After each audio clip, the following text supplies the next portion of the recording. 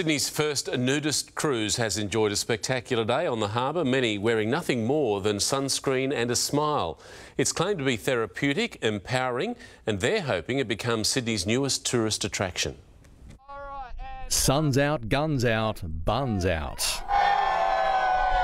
Already spoilt for its natural beauty, Sydney Harbour boasted more nature than it's used to. It's just a really stunning thing to be a part of. It's just beautiful. Whether younger, You could be whatever shape, whatever body you are, you're still beautiful. older, We got wrinkles, we got tubby tummies. no matter what you do for a living, So I work for NASA and CSIRO. I'm a baker, cake, cake maker.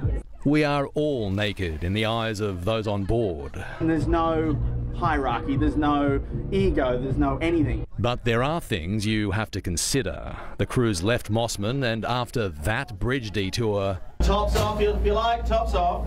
they did and more. Then off to Cobblers Beach in Middle Harbour. Get Naked Australia claims to boast the first cruise of its type in Sydney, and they hope it becomes one of the city's staple tourist attractions. And our next cruise in December, we've got 125 coming. Uh, the ultimate goal would be to get a cruise liner. They do that in Europe, but the weather there is rarely as good as this day or this harbour. In the search for a serious news angle to this story, this morning I spoke with a psychologist to ask about the benefits of public nudity, and they're not surprising. Empowerment, and it's also a good tonic for stress. It works too. I'm not even wearing a tie. When I shed my clothes, I feel like I've shed this idea of what people are thinking of me. And you start to forget about things that, that are really ingrained and that give you a lot of grief in a normal, everyday way. It's incredibly liberating. Robert Ovadia, 7 News.